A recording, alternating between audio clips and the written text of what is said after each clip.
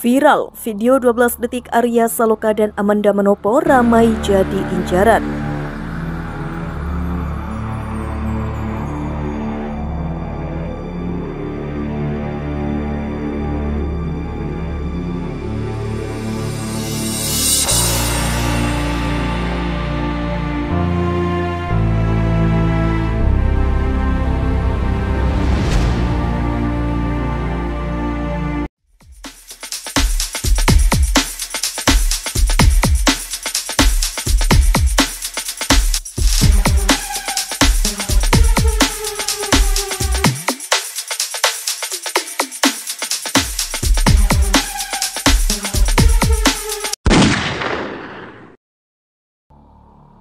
Hubungan yang dimiliki oleh Arya Saloka dan Amanda Manopo memang kerap menjadi pusat perhatian publik. Beradu akting sebagai pasangan, banyak yang menduga jika mereka memiliki hubungan asmara di luar urusan syuting dan pekerjaan.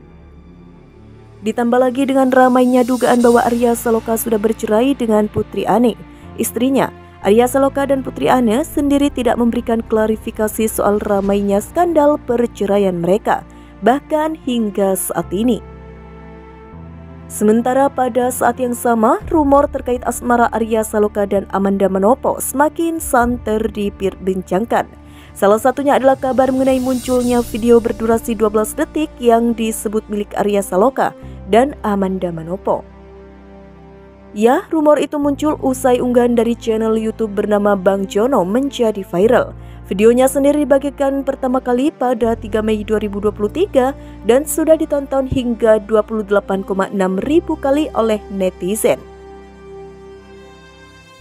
Video tersebut menggunakan sebuah judul yang langsung menarik perhatian, berfokus pada dugaan adanya video 12 detik berisi Amanda Manopo dan Arya Saloka yang kemudian menjadi incaran dari netizen selama beberapa waktu. Full video tonton sebelum dihapus. Video berdurasi pendek Amanda Manopo dan Arya Saloka tersebar. Tertulis sebagai keterangan judul dalam videonya, lantas benarkah akan klaim yang ada dalam video tersebut? Setelah ditelusuri dengan lebih lanjut, tidak ada bukti yang mendukung mengenai video berdurasi 12 detik yang konon berisi gambar dari Amanda Manopo dan Arya Saloka. Selain itu, tidak ada bukti berupa pernyataan yang berkaitan dengannya.